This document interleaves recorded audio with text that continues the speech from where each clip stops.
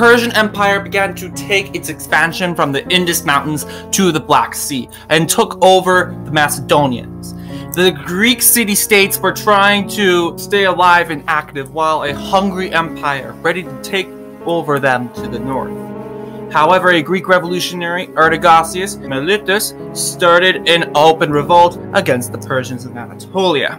Athens and Sparta later rushed to the rebels and aid, and aid, aid them and began sending troops to stop the Persians. However, they pulled out of the conflict later on.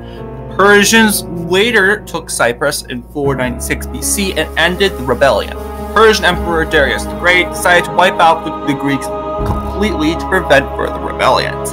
As the Persian forces were approaching Marathon, an Athenian messenger named Philippides was sent to Sparta to get help, but the Spartans refused due to their religious hostility. Luckily, the Athenians won the battle.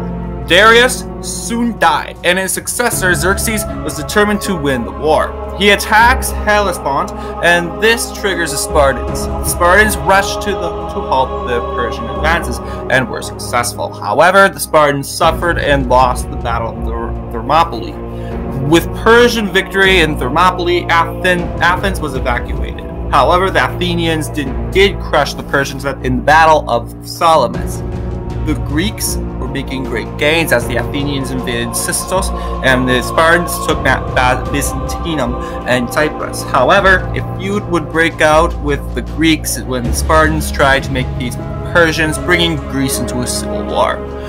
Xerxes was assassinated and things started to fall apart in Persia as the Egyptians started a revolt and were aided by the Greek rivals.